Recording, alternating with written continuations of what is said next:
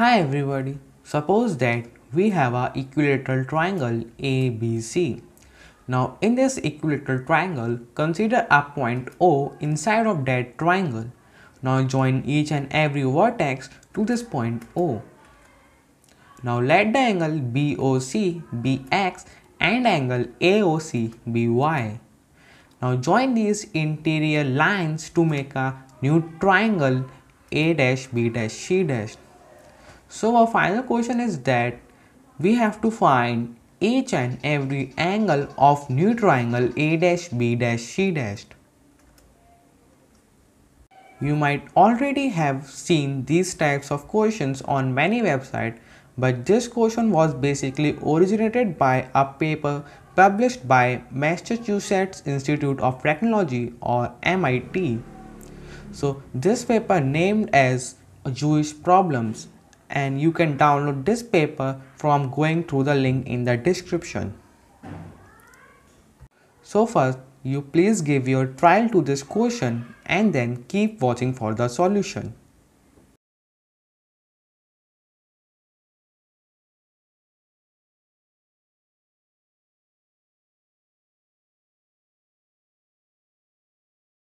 Now here is our original triangle that we have given. Now make a duplicate copy of that and rotate it 60 degrees clockwise and stick it to the bottom of the original triangle and the base of the duplicate triangle is easily coincide on the base of our original triangle because we know that these both are equilateral triangles and both have equal sides. Now this is our final figure after renaming them. Now join the interior points of both triangles. Now this triangle is congruent to this triangle by side-side-side congruency rule.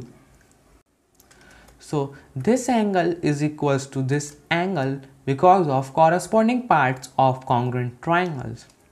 And similarly, this triangle is congruent to this triangle by side-side-side congruency rule and similarly this angle is equals to this angle because of corresponding parts of congruent triangles.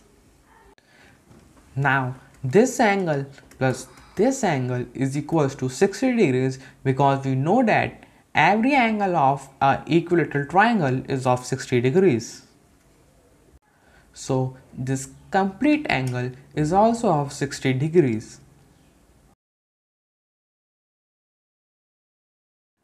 Now considering this isosceles triangle, now looking in this isosceles triangle, we know that angles opposite to the equal sides of triangle are equal. So if we let our remaining angle be A, then another angle is also equals to A by this theorem.